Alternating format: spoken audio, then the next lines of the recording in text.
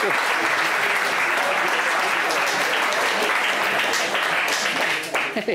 David, here you are getting ready for your talk tonight um, over at the Summer House on Spring Island. Are you are you nervous? What what is, what's this talk about? Well, actually, JJ, I gave it last night. and you didn't push the record button Okay. in time, Okay. so I'm going to do the first part that you didn't record, Okay. and we'll catch up from there.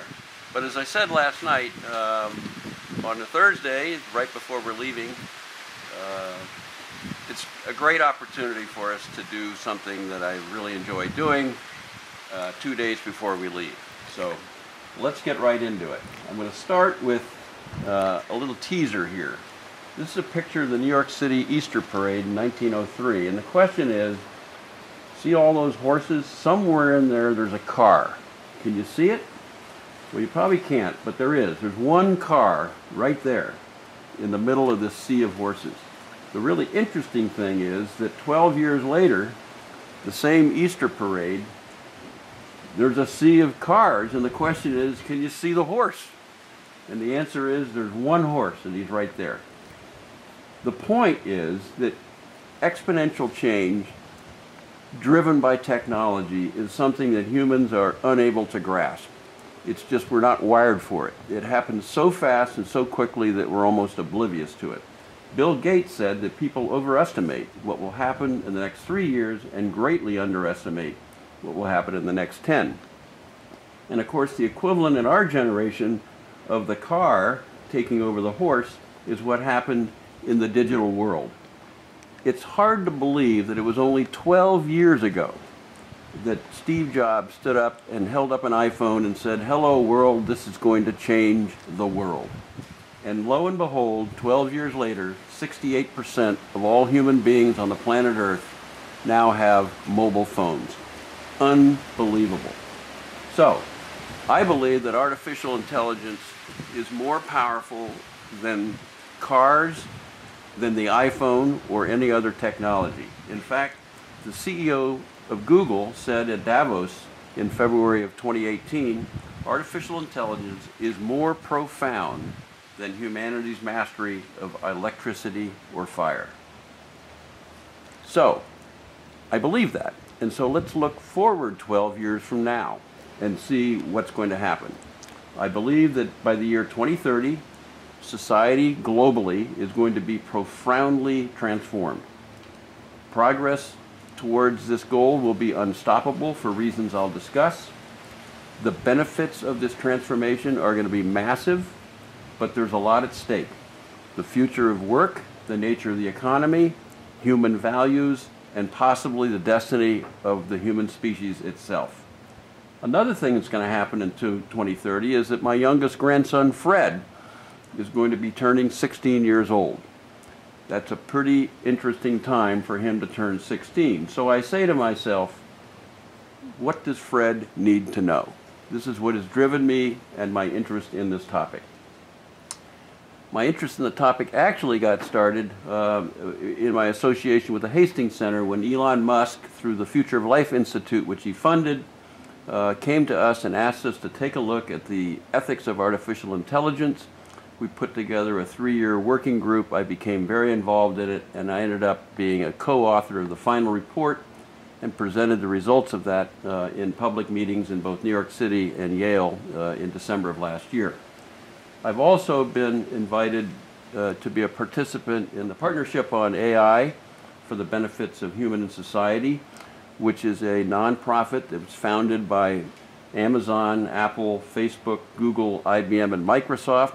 It's now some 150 people worldwide, all sorts of disciplines. Kickoff meeting was held in Berlin. I was an attendee there. I was the oldest person in the room by at least 20 years. Uh, I've attended another meeting and several working groups, one in San Francisco, and I will be going to London for a third annual meeting uh, later this year. Uh, I'm also involved with a uh, colleague of mine, Wendell Wallach, who is a uh, scholar at Hastings and at Yale University. And he and I have a rather bold idea, which is that the world needs some sort of governance process to manage the evolution of AI because we believe that uh, without guardrails, it potentially could uh, have very, very uh, harmful effects. Um, we're not positive that's going to happen, but we, the UN did sponsor a meeting which we were able to lead uh, uh, in September, and we're testing the idea, and it may happen. So let's get into the actual talk itself. First, a little basics. Uh, everybody's heard the term AI, but what is it? Well, there's a lot of ways you could answer that, but I think the simplest way is to recognize that at its core, AI is essentially software. That's what it is. It is software that does that mimics any actions that require human intelligence. It could be perception, motion, manipulation of things, solving problems, representing knowledge, planning, learning, reasoning, social skills, creative skills, anything involving the human brain is fair game for artificial intelligence. And the way it works and the way it's created is in two steps. First, it has to learn how to do each and every one of those things. In some way, it learns how to do that. We'll talk in a minute how that happens. And once it's learned how to do something, it then acts and it can act by assisting humans with tasks that they know how to do, basically relieving them of tedious work, making them more efficient, less error prone, and so forth. In some cases, it can actually augment what humans do because it can do things that humans can't do. So it provides the opportunity for humans and AI to work together as collaborators and where one plus one equals more than two. Uh, or in some cases, it can become so good at what it does that it replaces humans. It's, it is potentially, uh, and this could either be very good or very bad depending upon which task uh, you're talking about. And we'll talk about some of that as well. How does AI learn? Well, there's two ways. The first way is called machine learning. You might have seen it around if, if you, it's hard to miss it in the news. But, but machine learning is essentially software that is looking for patterns in any kind of data. The data could be economic data, social data, genomics data, financial data, any kind of data, physical data about the planet and the earth. And it, it looks for patterns. And often the patterns that it finds are actually undetectable by humans because the power of the computer has become so great that it can look so deeply that it can find things that we can't the training that is and learning that it's doing can either be supervised or unsupervised. Supervised means I'd like you to be able to identify a cat, and it'll be shown millions of pictures of things, and eventually it'll know that's a cat. Or it can be unsupervised, which is here's all the data around the human genome and a lot of other data other than human genome data around it. Tell me what you find. Tell me what genes might be doing, which genes are doing what. So that's, that's the two different categories of, of learning data. The key to why it's taken off so fast is it lives on data and it lives on processing power. And the more there is, the faster and better it becomes. The second way that AI learns is like a baby. It has no data. It simply is given a goal like, don't lose this chess game. Doesn't even know what the rules are yet. But it just starts playing. And it makes mistakes. And it basically creates uh, its own data by its mistake database. And eventually, like a baby, it runs millions of experiments over and over and over again and basically ratchets its way up to proficiency. And when I say millions, eh, I'll come back to that. so, what types of AI are there? Well, everything you're hearing about today and everything that will be created in the next 10 or 12 years is within the community is called narrow AI. we'll talk about why it's called narrow AI. But what it means is it does a very specific thing that it's been asked to do. Identify a face, uh, translate language, uh, diagnose a cancer, do something. it's highly effective, or can be, but it's very inflexible. It's a Johnny one note. It only does that. The growth drivers, as I said, are a huge database, massive computer power, so it's taking off like crazy. The question on people's minds is, could it ever be as smart as humans? So can narrow AI ever become what's known as artificial general intelligence, AGI, that's what it's called. But there are a lot of hurdles to get there. It has to learn something that babies learn very quickly, common sense. It has to be adaptable to context. If I learn how to swing a baseball bat, it actually helps me learn how to hit a golf club. AI can't do that. You have to retrain for every single thing it does. So an ability to become context sensitive is a massively hard technical challenge, and thousands of people are working on it. And it has to learn how to learn. That's what we've done as humans. Those are all human things. Those are very difficult technical challenge. So as a result, the timing on when that'll occur is, we'll talk about at the end, is there's a lot of controversy over it. When and if or when that'll ever happen. Excuse me. then there's the question of superintelligence. Could they actually be smarter than us? Not just equal to us, but smarter than us. And of course, this is what Hollywood loves to fixate on. This is, we read about HAL and the Matrix and the Terminator in the movie Her, if you ever saw that. And the question is, if it gets there, is it a good thing or a bad thing? Is it nirvana or is it hell? We don't know. We'll talk about that.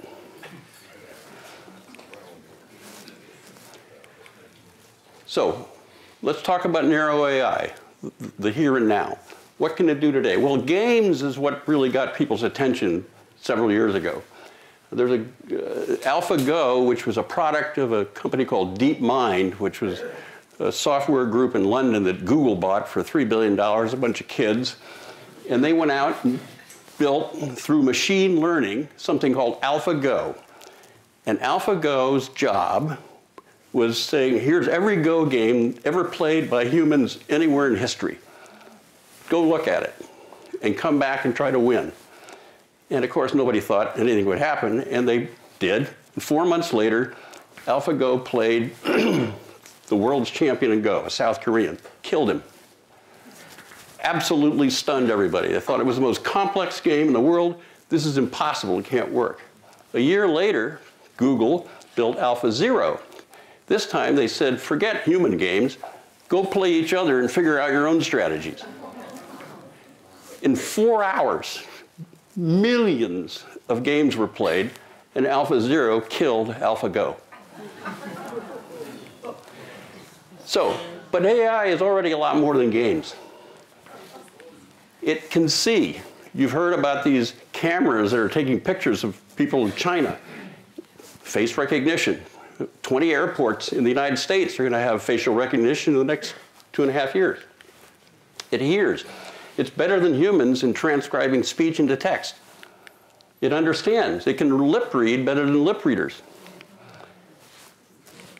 It works. It makes hiring decisions. It drives robots in factories. It does all sorts of things already. It diagnoses. It's, it can beat certain, certain forms of radiology and dermatology and other forms of things. So, it, as a diagnostic, it's at least an augmentation, possibly a replacement. And it's definitely in our lives every day. It's Waze, it's Siri, it's Alexa, it's airline pricing, it's Amazon telling you what you ought to buy next. All of that is AI. In fact, this leads to a paradox, because once AI solves a problem and be becomes useful to us, it's no longer considered AI. We just accept it. It's in the world. Oh, when's AI coming? Well, guess what? It's here. AI is anything that hasn't been done yet. That's what Hofstadter said. And my favorite philosopher, Daniel Dennett at Tufts, said, what begins as an option to improve our lives soon becomes an obligation, and we become dependent on these things.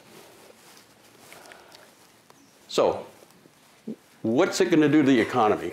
Well, I'm not going to go through all the details here, but just go down the list mentally here. Every single sector of the global economy is going to be transformed by AI in one way or the other. Healthcare and automotive, I'll talk about those in a little more detail on the next slide, but financial services are going to change, transportation, technology, media and telecommunications, retail, energy, manufacturing, farming. There isn't a sector of society that won't change. To give a little bit more flavor for that in two areas, in healthcare. Healthcare, I guarantee you, is going to be better, safer, fairer, and cheaper.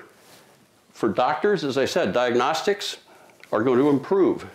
Surgical assistance for certain kinds of surgery, improvements.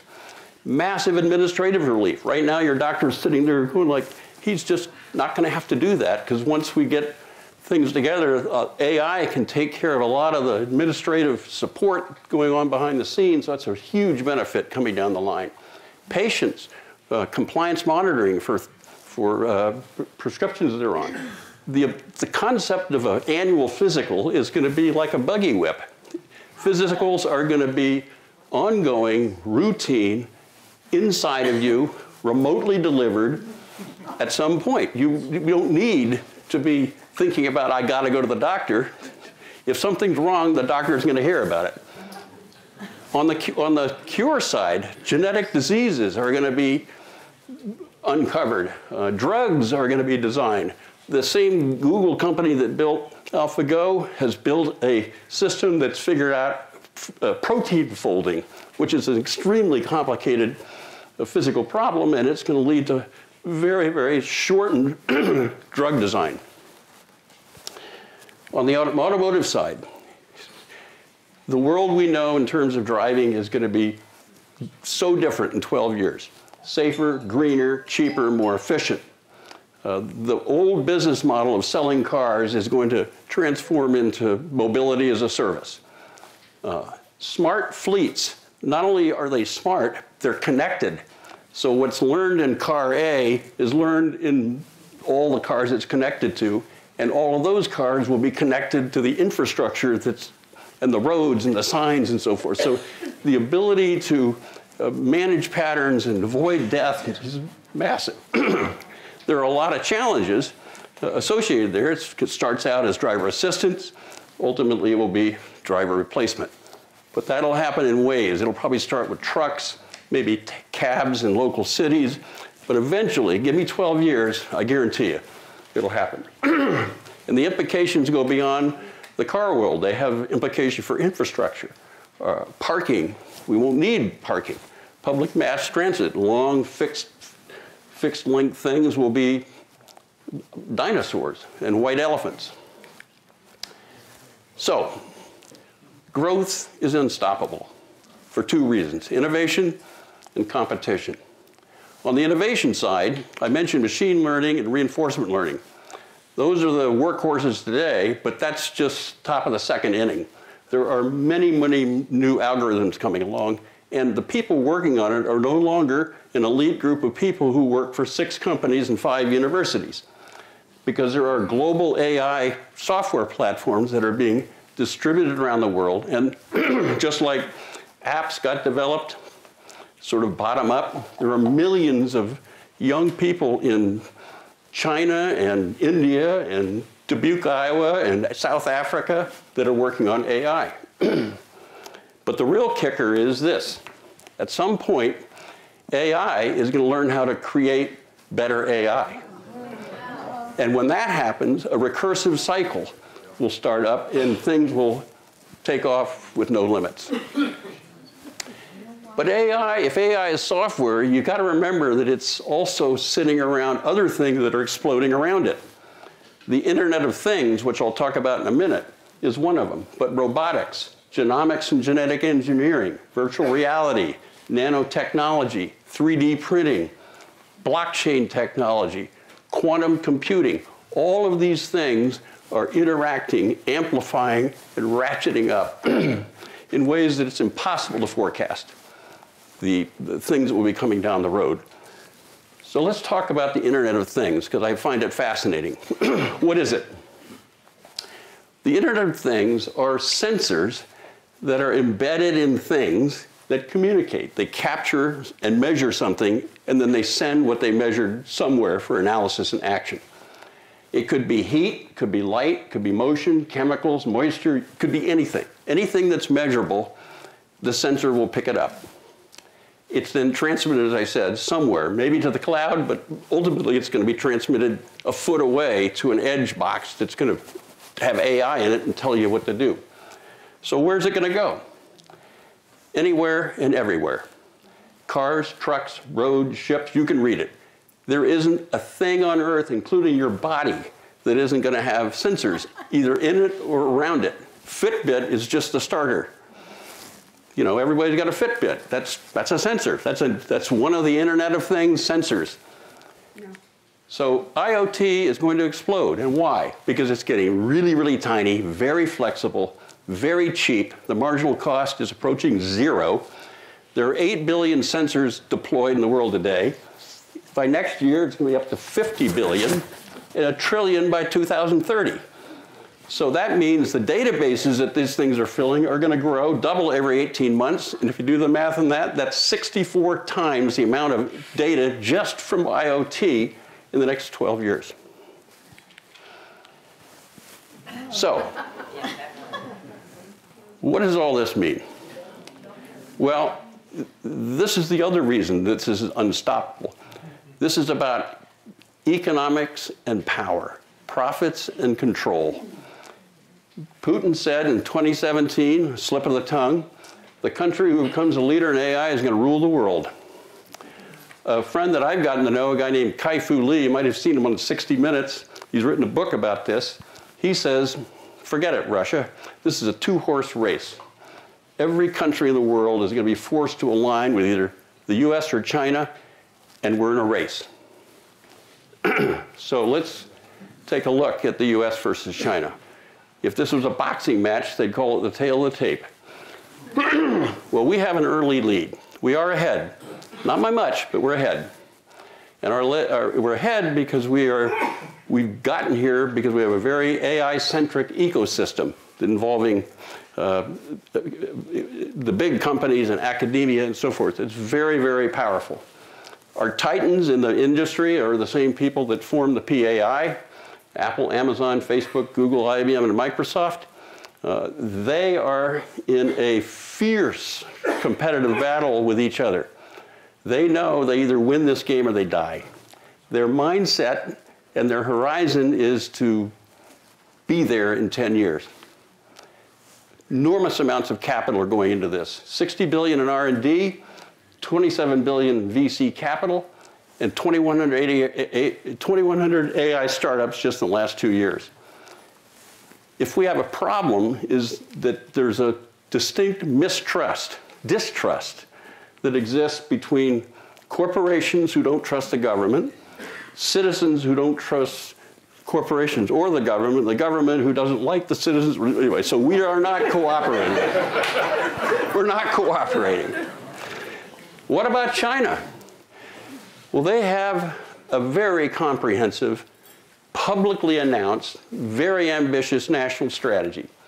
Their titans are Alibaba, Baidu, and Tencent. They're commercial companies, but they are an integral part of the national plan. And they have stated they want to catch the US by 2025 and dominate the world by 2030. Their horizon isn't 2030, it's the next century because they know that this is what it's all about. Their advantage is that they've got massive databases because they got 2.3 billion citizens. And they've got a huge deployment of IoT in the form of all sorts of sensors, not just cameras, but everything. So they're, and they they're building a research ecosystem that is uh, uh, akin to ours. It's not good as ours, but it's, it's on the way. Their focus is on control, surveillance, military, smart cities, e-commerce. And they've taken each one of these companies and say, you focus on that, you focus on that, and, you know, and culturally, opposed to us, they don't care about citizens' rights the way we do. So privacy is not an issue. So technical progress is the point. So they will move as fast as necessary.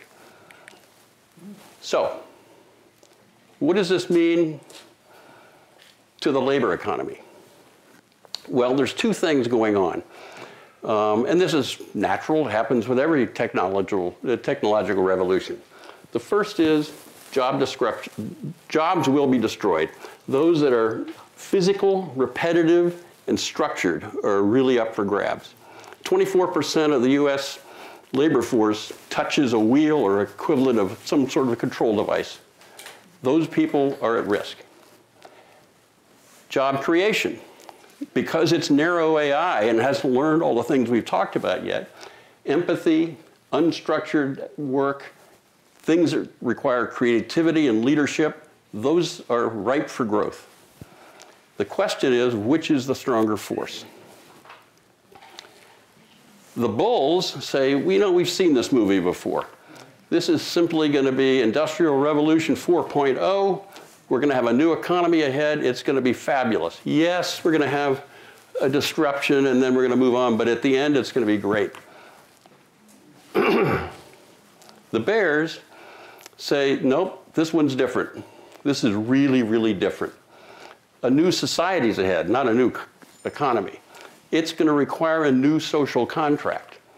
There will be a permanent job crisis. Not everybody's going to be out of a job, but not everybody can expect that if I'm ready and want a job, I will have one. If that's true, the human impact on financial security, self-respect, dignity, fulfillment, up for grabs. It would create a existential policy crisis for liberal democracies around the world starting their own. the policy ideas that are emerging out of this and beginning to be talked about are things like a uniform basic income.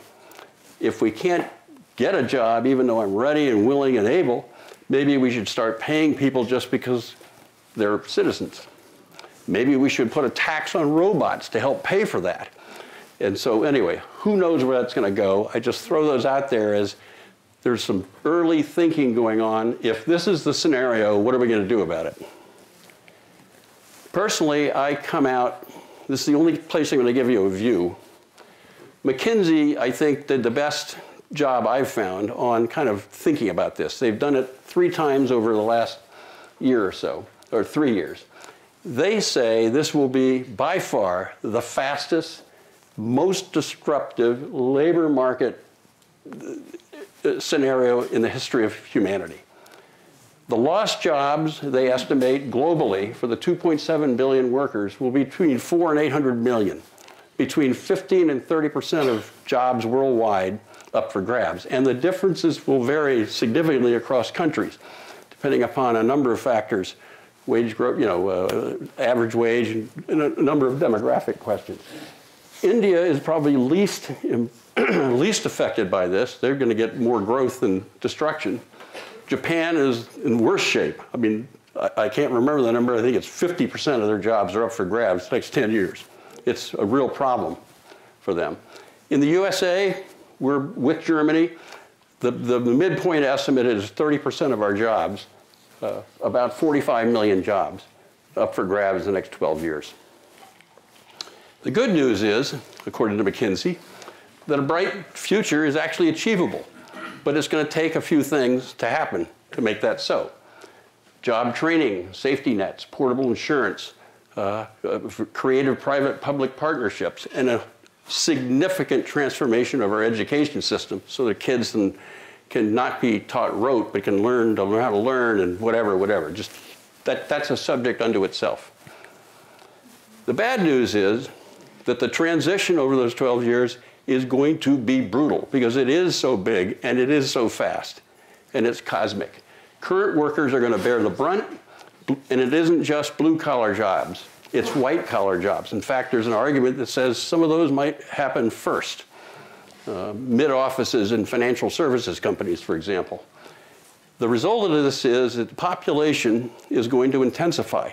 When people are feeling angst, bad things happen. This is, calls for a desperate need for political leadership. And if there's a downer point I want to make, it's this one. So, Beyond jobs, there are other human values at stake, other issues, other social implications. Some immediate concerns are safety. And I'm not going to go through all of them, but just take the car automotive thing as an example. The estimate is that once we're at full autonomy, of the 40,000 people that die on the highways every year, half of those lives could be saved. The question is, what does it take in a testing regime to get there? Perfection? We had, you know, one person die in Arizona and they stopped all testing. So the question, and, and, and by the way, that was appropriate because they weren't ready for it. But at some point, there's a trade-off that's going to have to be made. If they're demonstrably safer than humans, is that enough?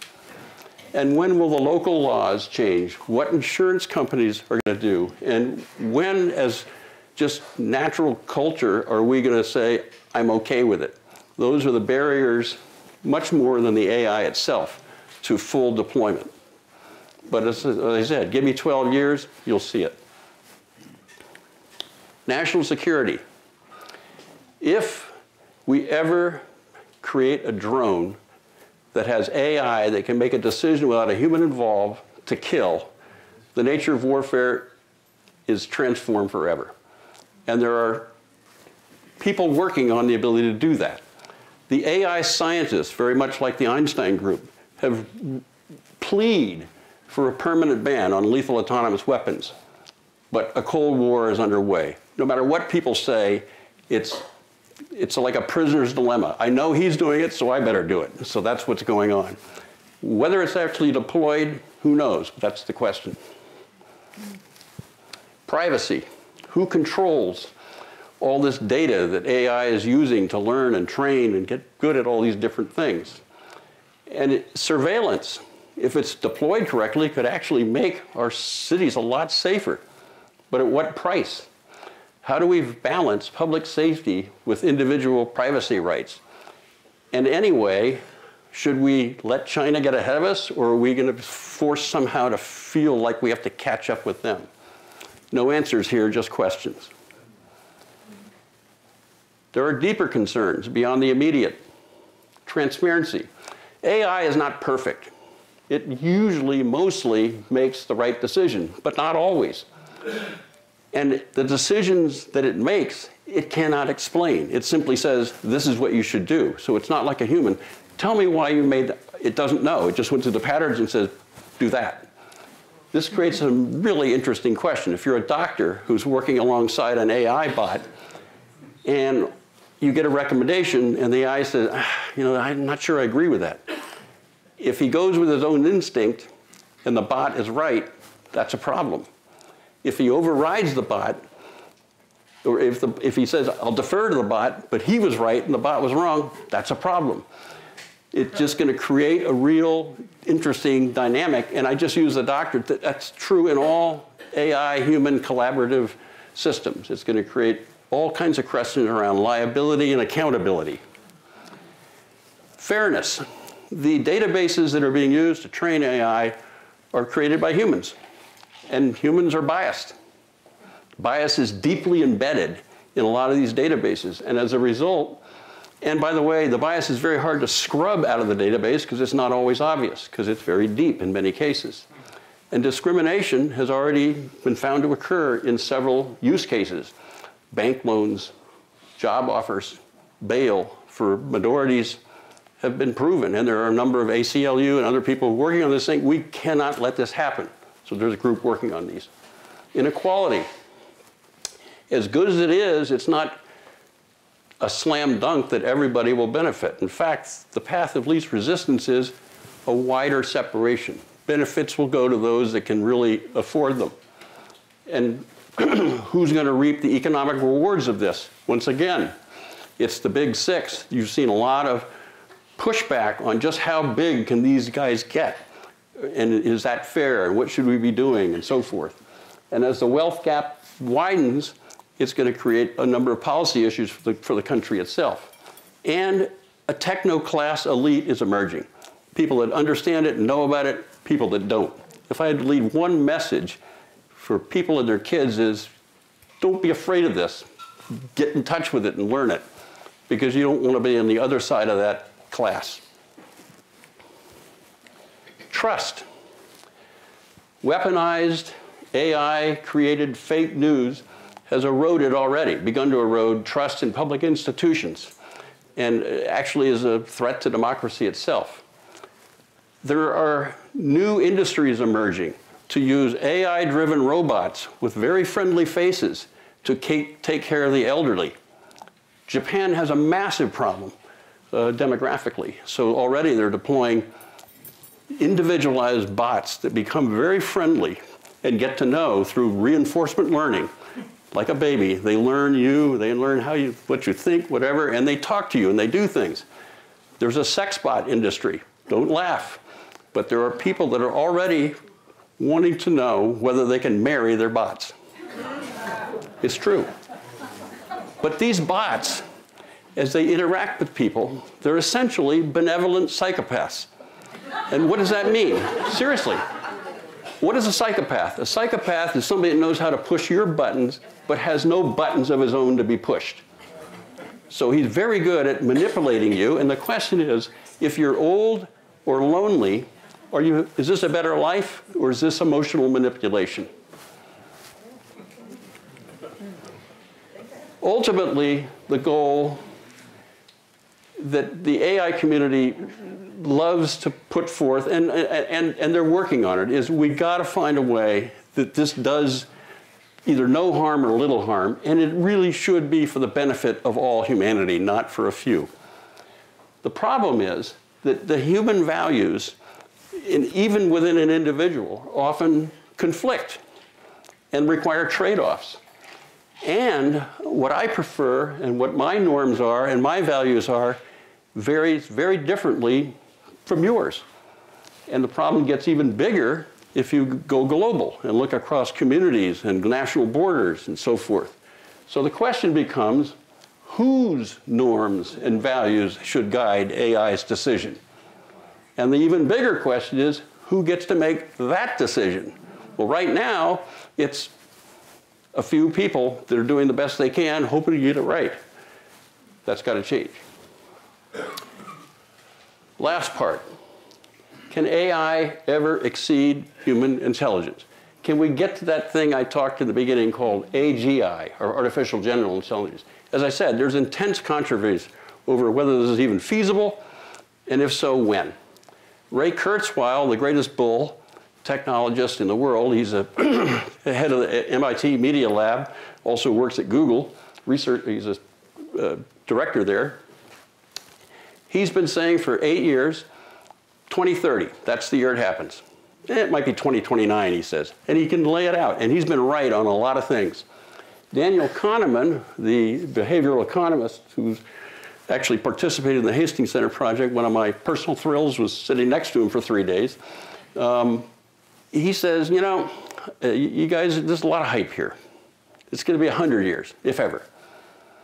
The truth is, or not truth, the consensus is 2050. Daniel, you're way too optimistic.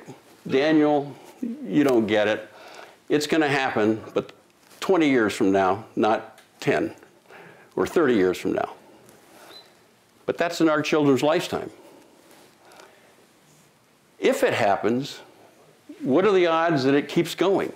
That superintelligence will emerge beyond general intelligence? Well, I told you about AI creating AI. A recursive self-improvement process will take off and superintelligence will occur. Some people say within weeks, other people say within months, but that's the bid ask on that one. The question is, as it does it, what do we mean by intelligence? Is it just cognitive intelligence? Will AI also not become a psych psychopath, but acquire the equivalent of emotions? Will it ever achieve consciousness? And since we, we don't really understand what consciousness is, big debate over that. Will ASI have rights if, if it does become more human like? And can ASI be stopped? Is it even possible to control it? And if so, when do you start? Well, there are four groups of people that think about this question. There are the people that I call the utopians. These are my labels. That's Ray Kurzweil, his colleague up at MIT, Max Tegmark. He can't wait. He thinks this is the greatest thing since canned beer, the singularity. He said biology is unnecessary for cognitive It will just put it on a silicon substrate. What's the difference between a brain and, and, and a mind? He thinks there is a big difference, and it's the mind that can be replicated in a silicon substrate. There are the dystopians. The people say, game over. Elon Musk, if you want to read a great book by Nick Bostrom called Superintelligence, he says we have two destinies. We are either going to be pets of SGI, who will treat us very nicely, like we treat our dogs, or they're going to get tired of us, or they're going to find us irrelevant and we will become either extinct. Then there are the agnostics, like Kahneman and Mark Zuckerberg, who says this is the wrong conversation. It's too far off. It distracts society from more immediate issues that we ought to be working on. Let's work on these other things I've been talking about and not spend all this time on Hollywood stuff. And then there are the pragmatists. Yuval Harari, great author. I don't know if you read his books, but they're Homo Deus and others. Stuart Russell, another colleague who actually co-directed the Hastings Center project. Wonderful man, a Brit. He's out at uh, UC Berkeley and he runs a, an institute called the uh, Center for Human Compatible AI. Fantastic guy. And Stephen Hawking himself. They said, listen, it's sort of like precautionary principle. If it could happen, and the, and, the, and the implications would be dramatic, why wouldn't you do something about it right now? I mean, if we're going to get existentially threatened by 2050, why are we worrying about climate change in 2100? this is not a or, it's an and. So those are the four groups. I think Hawking got it right. He said AI actually will exceed human intelligence. But we cannot know now if we will be infinitely helped by it, ignored and sidelined by it, or possibly destroyed by it. But let's be prepared for it. So, what do I want to say to Fred on his 16th birthday? I'm fast forwarding now. Fred, you've grown up an unbelievably unique time in human history. You've seen enormous creation of wealth and power. Our planet is now safer, healthier, greener, and fairer, or maybe not. You'll never need a driver's license. But you'll have a job if you're curious, creative, resilient, and a lifelong learner. Superintelligence is coming soon. So your life is either going to be heaven or hell. I only wish I could be there with you. Thank you.